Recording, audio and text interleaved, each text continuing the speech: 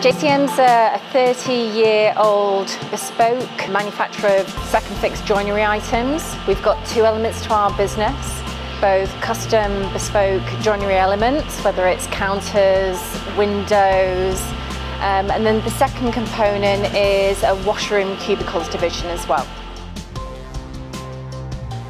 Growth Hub know us, they know our business uh, and principally know what we're trying to do with the business as well. So when the pilot came to the West Midlands, they thought that we may actually have something in mind that would benefit, and they were right. Um, so we were already considering uh, the introduction of a robotic arm to the workshop. We went through the process and indeed they did support that that would be the, the best project for the programme. When you go through the Made Smarter programme, they will help you with a return on investment calculation uh, which helps enormously because money is so scarce that if we can't be guaranteed we're going to get return on that purchase, we need not to do it. Having gone through that process, um, and we were conservative in the calculation because quite frankly, nobody knows for sure, um, but we thought the robot arm would pay itself back to us in about a year, which is a good uh, investment horizon. It's actually going to do it way faster than that. It's um, completely revolutionised how we're doing that particular process. It's also given some job enrichment because we haven't got highly skilled joiners stood for eight hours a day sanding a piece of compact.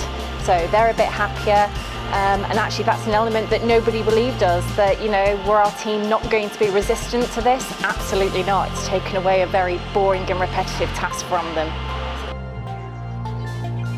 WMG has worked with JCM Joinery before and this was a good opportunity to take JCM Joinery on the Made Smarter journey. Uh, unlike other businesses, uh, JCM and especially Natalie from JCM, she was extremely clear about what, where she wants to take the company forward on the digital journey and she had already identified a couple of automation solutions for the company which made our job less uh, intense because we were able to just validate some of the proposals that she had got and some of the options that she had looked at and come up with the right solution for her. Uh, this will be, if I'm not wrong, this will be the first ever robot arm used in a joinery business, at least within this region, which is the first. So straight away, you know, this is an innovative company and this kind of taking strides in terms of automation. The robotic arm currently is a very important thing in terms of unlocking the capacity. It's quite important for them. And also from a point of view of safety. So I know Natalie, the owner of the company, she's very concerned about the safety of and well-being of uh, our, our staff. And I think this robotic arm will really help improve the safety aspect as well and also unlock capacity. Uh, this is something which will also help improve the quality so currently it's a rope, it's a sander, a manual sander which is used for sanding the edges of, uh, of the big sheets. With the robotic arm, all that will be done consistently and in a controlled manner. So it will definitely help them improve capacity, quality and safety.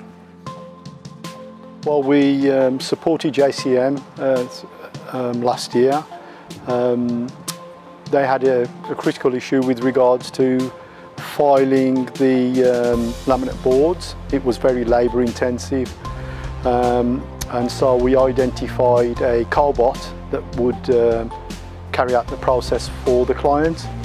Um, the client invested just shy of 40,000 where we provided a grant of 20,000 uh, to support this purchase and um, end result is that uh, we've managed to free one um, employee to do to upskill on uh, on other manual work um, of high value.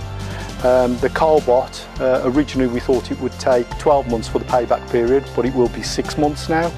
It will help because it's just making us smarter essentially about what we do um, and getting us to be thoughtful about where we use our very experienced and important labour.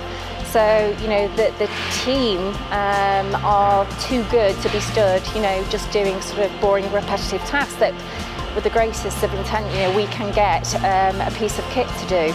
So um, it's going to continue helping us to be more efficient um, and of course it's driving productivity already.